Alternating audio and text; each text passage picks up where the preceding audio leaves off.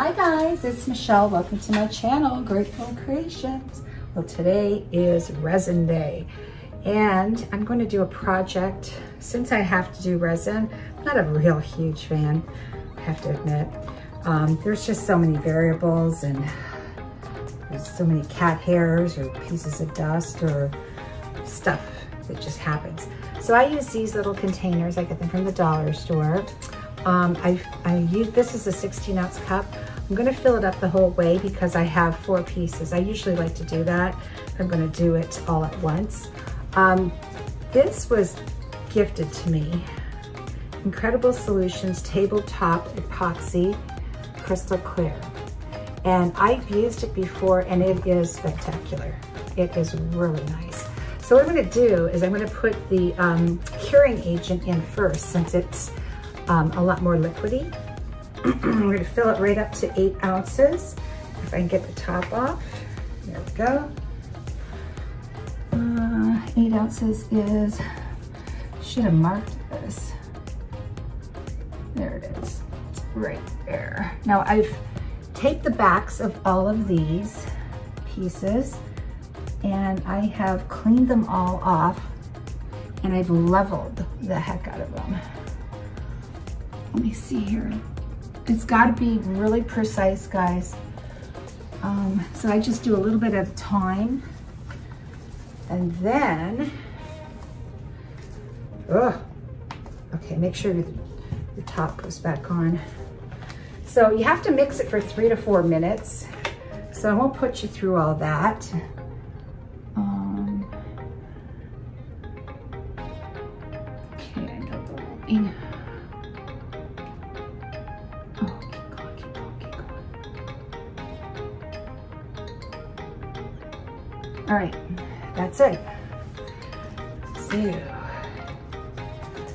You're stirring, oh, good. I got that on real nice and tight. Put that away. Take my stir stick. When you're stirring, you gotta make sure you get the sides and the bottom. Let's go back. So you wanna stir it for three minutes. I'm gonna go put my timer on and I'll be back. All right guys, I'm all stirred up here. Now if you see bubbles in it, especially when you first start stirring it, you're gonna see bubbles. Um, but don't worry about that. That's why we have this handy dandy torch to torch the bubbles out. So what I'm gonna do, I'm gonna put five ounces, these are 12 by 12s, so I'm gonna need five ounces on each. So, oh, eight ounce do, do, do, do, All right, I'm just gonna kind of wing it. I pour it right in the center. Now it's really important to have your pieces level. Yeah, that was about five ounces. And have them clean. This might not be enough. There we go. This poor woman, she's been waiting for her piece forever. And I have made several attempts at, um, I'm gonna actually put a little bit of clear in here and I'm gonna mix up some white. This is um, System 3 and it is a um, titanium white and you use this to make, uh, make the waves. So I'm gonna put a couple drops in there. You don't want to put too much. You can only have a three to one ratio or 10 to one ratio. Way too much. But the reason I'm mixing this up is it needs to get tacky before I can use it. And I'm gonna put um, a drop of Liquitex acrylic. Ugh acrylic ink in there. A couple of drops. And then I'm gonna put some alcohol ink because alcohol tends to make the real frothy, um, it's Pinata. This was Liquitex alcohol ink. This is Pinata. And Blanco. And can I get it off? Yes. So just a two drops, two small little drops. We're gonna mix this up let it sit for a few so that it gets nice and tacky so we can work with it well. You're gonna need a heat gun to do this work. So there we go. All right, so I've double gloved my right hand. So I want, oh, you know what? I do have another tile here. This one fell off my um, wall. I glued it back together. And now um, I'm gonna see if the resin will put it back together. So I just take my hand and I move it across. It feels good. It just does. It's nice and soft and gooey. And I really love what resin does to a piece. Just gorgeous. And this tabletop resin is uh, UV resistant. It is not um, temperature, high temperature heat resistant. It is, um, but it is, it's really good for not yellowing. It's one of the best on the markets. I researched this particular brand. All right, I'm just going to make sure I've got all my corners and sides done because that tends to be a problem at times. Gotta make sure everything's covered. There we go. Especially on the corners. All right, I'm gonna leave that for right now and I'm gonna torch it in a minute as soon as I get this one done. Whoa, Wilbur. I hope it's still level. This is one I did recently. I really love this plate piece. It turned out really nice.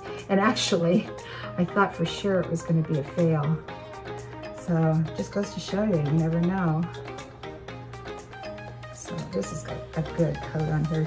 You can put one to two coats on, sometimes three if you really want it, you know.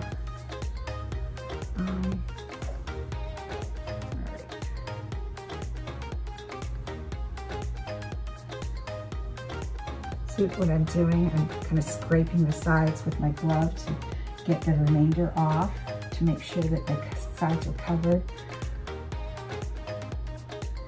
All right, and this one.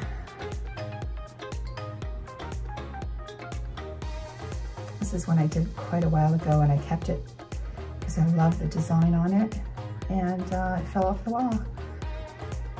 Operator error.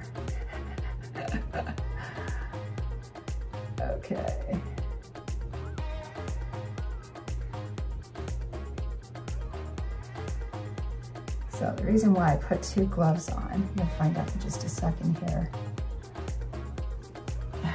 The work time on this is about 30 to 40 minutes. take this glove off and I've got a fresh clean glove so I don't have to um, get my torch full of uh, resin. You don't to get too close because you want to burn it.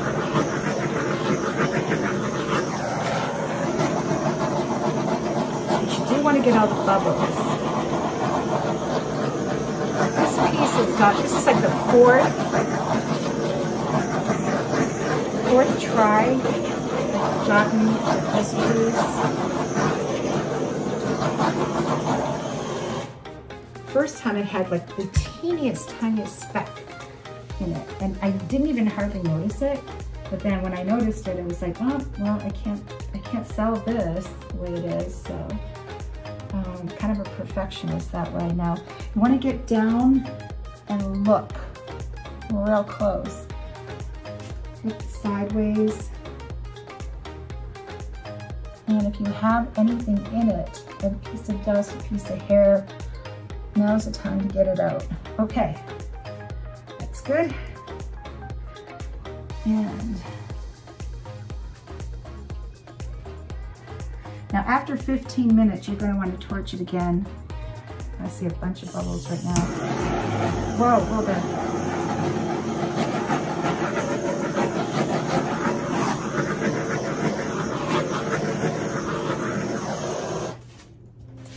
So you want to make sure you don't get any oils on it.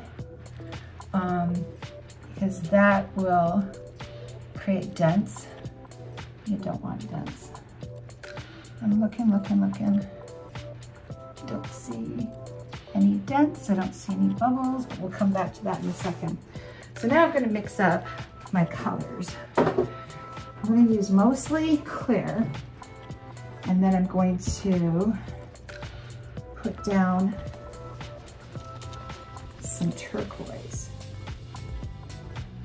All right, so I have decided I'm gonna try to use the golden turquoise phthalo, because I love this color, in the fluid. And then you just put a couple of drops to see if you like it, and then you just stir it up. I use these little silicone cups. The reason I'm doing this with the, um, I want it to be, oh man, I want it to be uh, transparent so that the waves will show up real nice.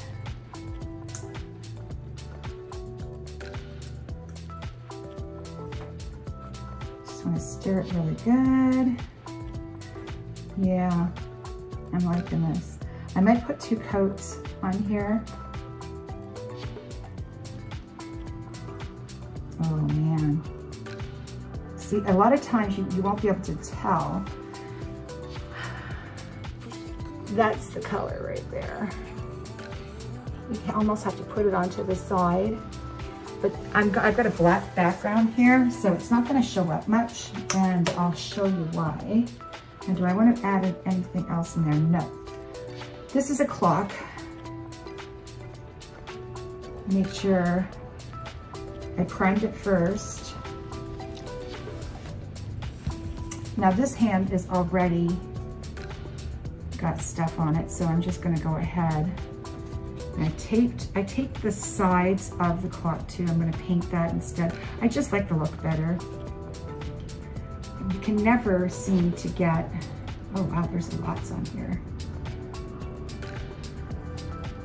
Um, I can never seem to get the, the sides right because you have to keep coming back and, you know, doing this to the sides, doing this to the sides, and then it ne never really gets to be that consistency. Um, here we go. now I haven't done, oops, I haven't done this clock. I mean, I've done this clock before, but not in, in the black like this. I have something special up my sleeve too. Putting the bubbles. Alright.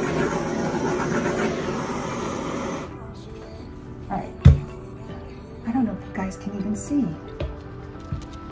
I can't move it. I can't. Oh, oh God. Okay. Okay, I can't move it. I'm sorry, guys. I will um, make sure you guys get a close-up of this. So now I'm going to put down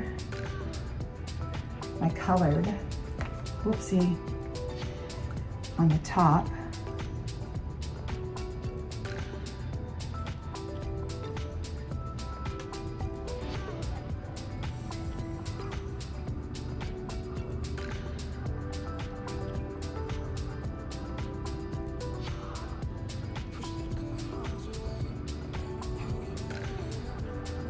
And I am going to take my white and make, I'm going to torch.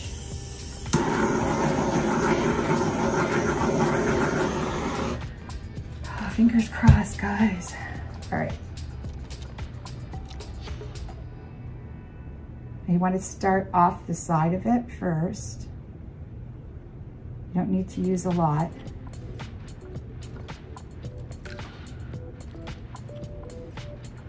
Oh shoot.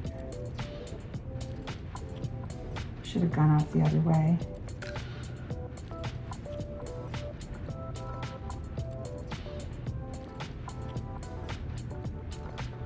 All right, good enough, I think.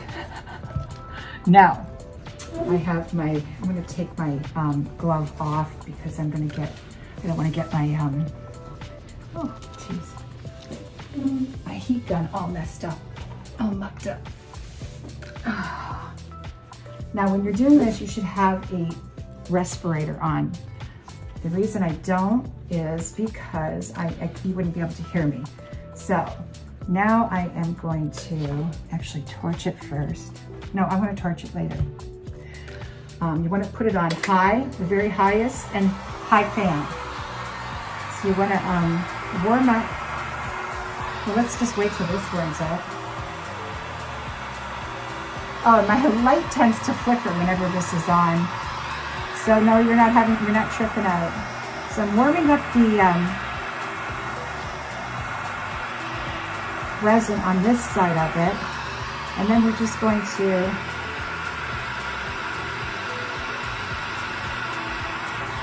push it up.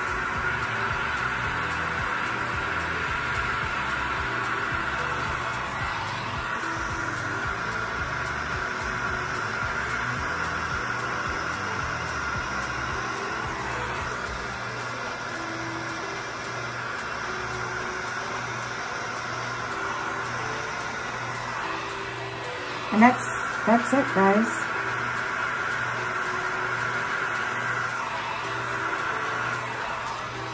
Ooh, be careful. These things are really hot. So, now, make sure I don't step on that. Um, I'm going to torch it right now because that tends to bring up some of the lacing as well.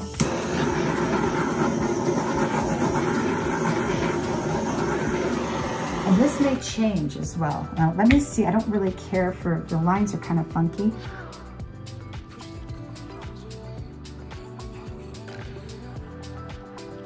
I might do another line just to straighten this out.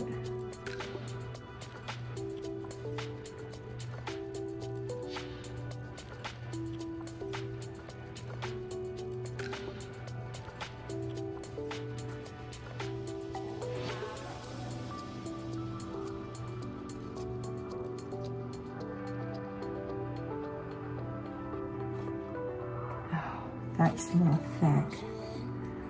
You know what, I'm gonna do my, I'm gonna do it one more time.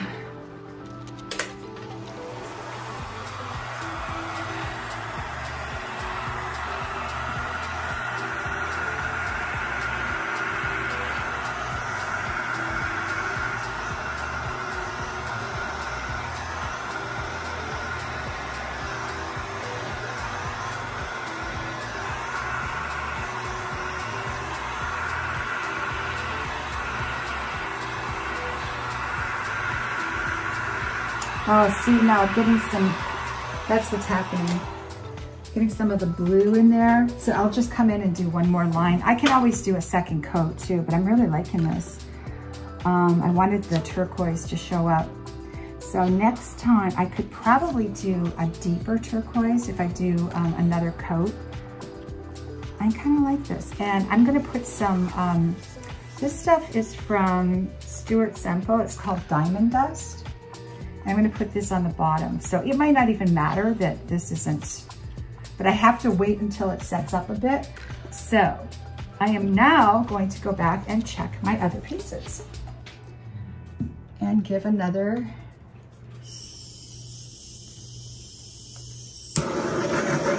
torch.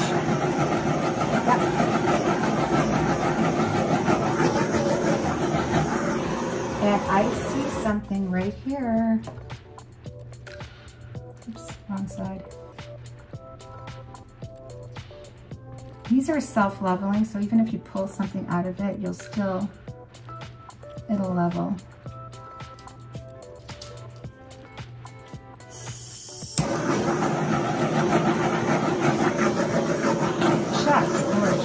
Oh, something else.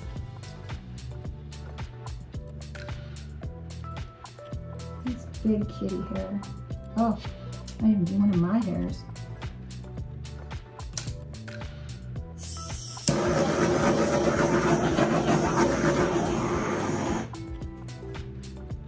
Um, Looks like there's still something in there. All right, that's better. The piece that really matters one I'm doing for that lady. So I gotta make sure that's perfect. Let me move this back a little bit. And I'm coming over with my tweezers.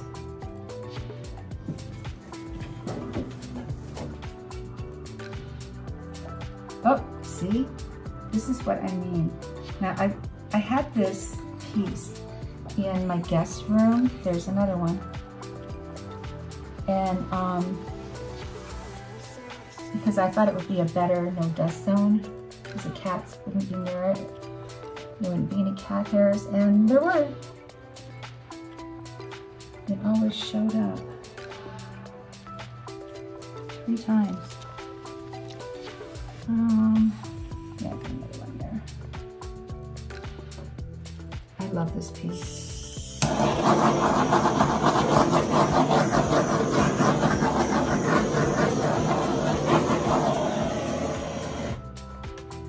So, if you muck up and you have to do another coat, you do need, something in there? It is. You do need to um, wait until it's dry and then you want to, I'm sorry, you want to sand it before you put another coat on so that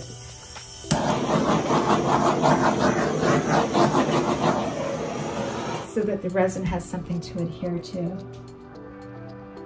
All right, I'm looking so very carefully. I'm gonna get my tent out and put it over this.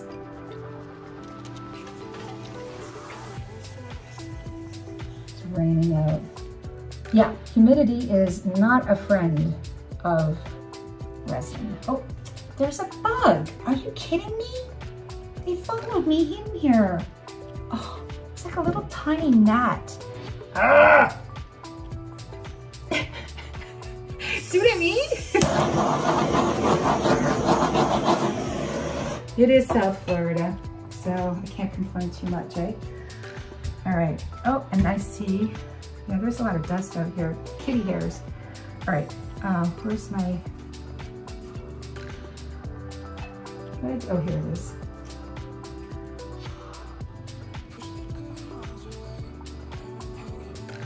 Oh, that's a kitty hair. Yeah, I might do another line of um, wave here once it um, dries. So the only thing left to do is clean up.